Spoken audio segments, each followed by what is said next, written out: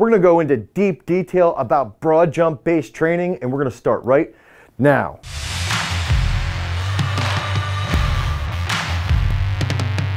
What's up everybody, it's Dane Miller from GarageStrength.com and if this is your first time to the channel and you're interested in taking those weight room gains and transferring it over to the field, you wanna learn how you can get stronger, be more explosive and become a better athlete, make sure that you like, you subscribe, and you ring that notification bell so we can help you become a beast. So when we're talking about the broad jump, okay, we've gotta think about what is the broad jump? In the simplest terms, what is it? And all it is, is if I'm standing at point A can I jump to point B as far as possible and then let's measure it. So we wanna see in a very simple facet, how explosive am I over a distance, over a horizontal distance? And so what's gonna happen is we wanna train multiple different aspects and we want to have a very deep counter movement. So if we're standing vertically, we're gonna have a very deep counter movement where your entire torso will start to get all the way in line with your hips.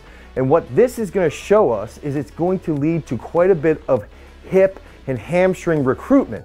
So we need to train this aspect, but more importantly, we have to be mobile in our lower back. We have to be mobile in our hips. We have to be able to recruit our posterior chain very, very effectively. And the reason why our torso will get so horizontal is because we need horizontal projection. That forward lean from the chest is going to help us get out for that monster jump. What else is needed?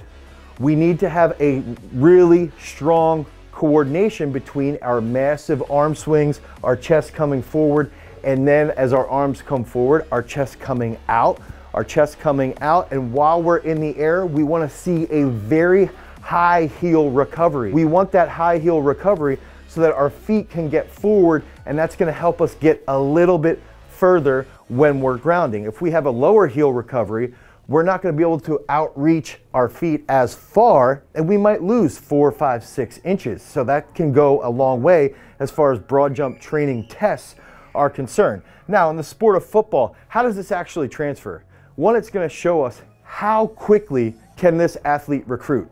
If they have a seven foot broad jump, they're not going to be super explosive. They're not going to have a good first step. They're not going to be able to have a very high jump, right? They're not going to be able to block a pass or or react quickly. That's the other facet here is that with a broad jump, we're going to see how quickly can they react, how well do they drop, drive forward, how well can they project their body forward. If they have to lay out for a catch, do they can they do that? If they have to lay out to make a tackle, can they do that? Can they use their body horizontally? So it's also going to show us typically those athletes that have a very long broad jump are going to be really good at horizontal projection, which means they're probably gonna run fast. So transfer over to the field is it's gonna show us that first step. It's gonna show us how quickly are they out of the gates? How quickly are they out of the blocks? Are they able to take that rapid rate of coordination and then use that to manipulate their body? And that's where it transfers really well to the field is that it's gonna show us if somebody can hit really, really well. If I see a running back coming into the hole and I just drop slightly and then make that change as a defensive tackle to make the hit, if I can make that hit early, it's because I have a very rapid rate of coordination and that's going to actually arise through the broad jump test. So now we're gonna go downstairs and we're gonna show you exactly how to execute a broad jump training session as well as possible. So the biggest thing we got to focus on when we're doing the, the broad jump is we've got to think about the counter movement first. If we establish a very strong counter movement and we're trained properly where we're strong enough to handle the elastic energy that is created from that counter movement, we can then utilize that to project ourselves horizontally. So some of the big key factors is I always recommend if you are doing Olympic lifts or you do you know back squats, simple things like this, or if you, ju you just do a hurdle hop or a box jump, whatever, that broad jump position should be the same position as where you're going to be pu your pulling stance for a clean, for a snatch, for a back squat, for a box jump, for a hurdle hop. The biggest difference here between a vertical jump and a broad is that in the broad jump, the counter movement is we're going to be here, we're going to sweep those arms back, and we're going to have our hips here, and our head is going to be just almost exactly in line with our hips. Uh, and that's gonna help us really recruit from that posterior chain and the hamstrings to help with the hip extension coming off the line. So we wanna sit here, get those wide sweeping arms here, and then as we project forward, you know, 42 to 45 degrees, The big key factor that a lot of guys screw up is that when they're in the air, they keep their heels low, okay? So as you extend off the line and you elevate forward, we wanna see a high heel recovery and then as those knees come through, our hands will start to come backwards and when we land, we're gonna be coming forward because of what we're doing with our upper body in the air. So the big key factors is a good counter movement to where we're almost exactly in line with our hips, with our upper body. We sweep forward aggressively, sweep forward aggressively with the upper body. And then while we're in the air, we want a high heel recovery, that high heel recovery and reach forward on that flat foot landing. And that's gonna help us keep moving everything forward to stick that landing. So we got Cooper Lutz, who's a running back at Syracuse. Jan Johnson, who just signed a futures contract with the Tennessee Titans and then three-time national champ and two-time Pan Am senior team member, Jacob Horst. So going to be interesting to see what happens because Jan weighs a little bit over 240 as a linebacker. Cooper's a little bit lighter, obviously around 200 pounds, a little bit heavier than that possibly. And then Jake walks around at about 70 kilos or 155 pounds, 154 pounds. So what's going to be fun to see is Jan's got pretty good strength, but he's a little bit heavier. Cooper's extremely athletic, extremely wired, but isn't really trained on the technique aspects of these, of these drills, especially the broad. And then with Jake, his springs, his bunnies are just off the charts. He can snatch over 140 kilos.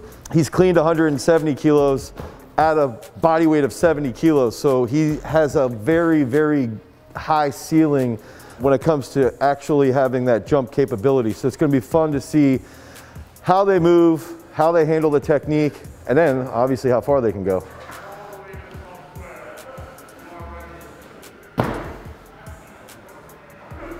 Great job, Jan. Yeah. Higher heel. Think, use, those, use the aggressive upper body and then that higher heel.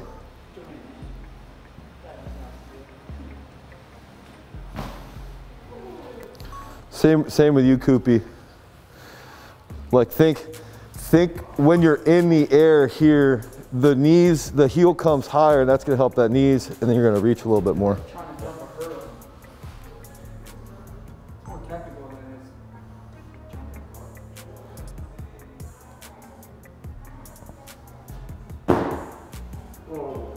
That was okay. That's when you'll start to come back and your chest comes forward.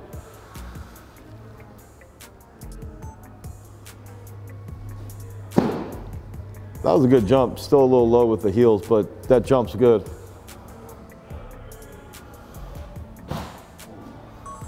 Actually was a little better though.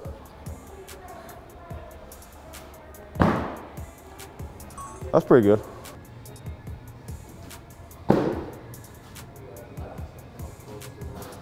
Oh, Cooper.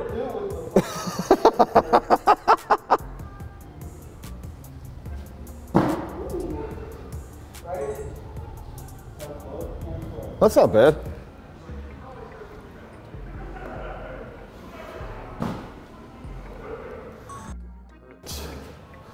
Ooh, that's not bad.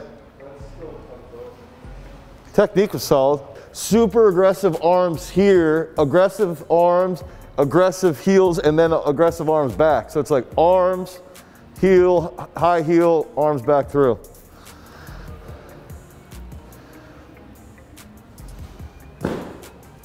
Heels were a little low, but the arm was good.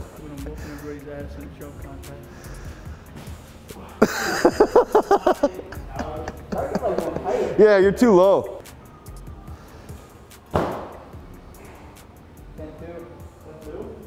That's not bad. Oh! That was, that was like 10 That was pretty big. Counter movement was weak too.